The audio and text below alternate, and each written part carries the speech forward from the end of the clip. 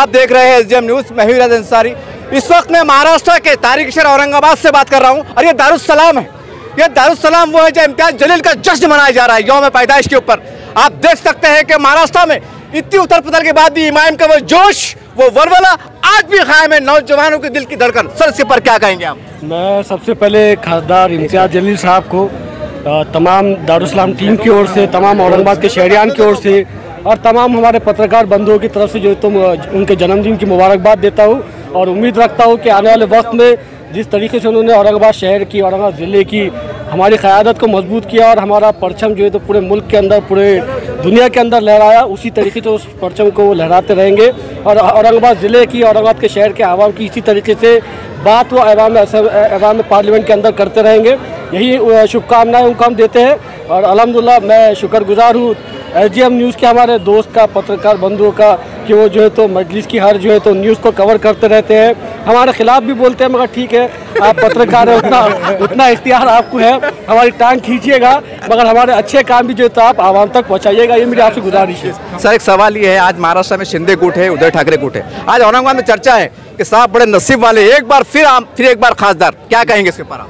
हम शिंदे गुट गुट और सेना गुट की वजह से खासदार नहीं बने हैं। हम खासदार बने औरंगाबाद ज़िले की आवाम की वजह से और यही औरंगाबाद ज़िले की आवाम का जो काम और खिदमत और उनकी बात जो है तो जो पार्लियामेंट में खासदार इंचार्ज जजेस साहब पिछले तीन साल से लगातार करते करते रहे हैं उसी वजह से हम लोग आने वाले 2024 में भी अल्लाह ने चाहा तो खासदार बनेंगे। इंशाल्लाह। इंशाल्लाह। सर आज एक चर्चा चल रही है कि एक बार इमाम का महापौर बनेगा। हालात सियासी हालत बड़े साजगार है। क्या पाते हैं आप? छब्बीस नगर सेवक आपका आंकड़ा क्या रहेगा? आगे। आने वाले वक्त के अंदर 26 का आंकड़ा इंशाल्लाह 46 तक जाएगा।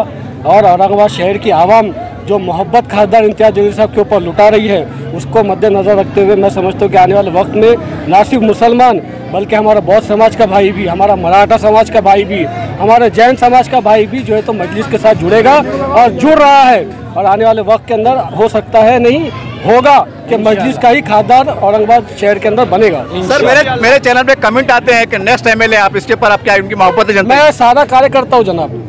एमएलए तो। सुनिए ना एमएलए और कॉर्पोरेटर की कोई ख्वाहिश नहीं अगर इम्तियाज़ जलील साहब ने सर पे हाथ रखे तो बन जाएँगे। अगर उन्हें बोले नहीं समीर तुम कार्यकर्ता अच्छा तो समीर कार्यकर्ता ही अच्छा है। कोई फ़िक्र नहीं। मैं खासदार इम्तियाज़ जलील साहब को जन्मदिन की बहुत बहुत मुबारकबाद देता हूँ। आज औरंगाबाद के अंदर पूरे ज़िले में खासदार साहब का जश्न मनाया जा रहा है। आप इसको आने वाले समय में किस तरह से देखते हैं? मैं पहले तो खासदार साहब को जन्मदिन की बहुत बहुत मुबारकबाद देता हूँ। खासदार इम्तियाज़ जलील को आवाम ही नहीं बल्कि सब जाति धर्म के लोग एक अलग आशा से देख रहे हैं, क्योंकि उन्होंने औरंगाबाद शहर का नाम, विकास के नाम से ऊँचा किया है।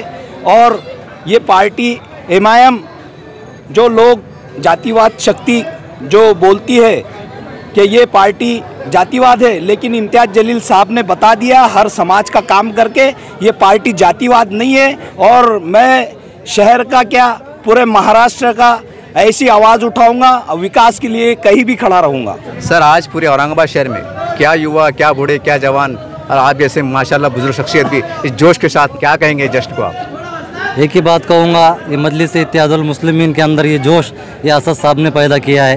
ये असद साहब की मजलिस है। पहले तो मैं इम्तियाज़ जलील साहब जो हमारे खासदार है इनको योम पैदाइश की बहुत बहुत मुबारकबाद पेश करता हूँ। और तमाम औरंगाबाद के आवाम से ये कहूँगा कि मजलिस इत्यादुल मुस्लिमीन और समाज को लेकर चलने वाली जमात का नाम है। आओ, एक बार मजलिस का साथ और एक बार देकर देखो। इन 2024 में फिर से खासदार इम्तियाज़ जलील साहब फिर से खासदार बनेंगे और औरंगाबाद के महानगर पालिका महापौर भी एम आई एम का ही होगा इन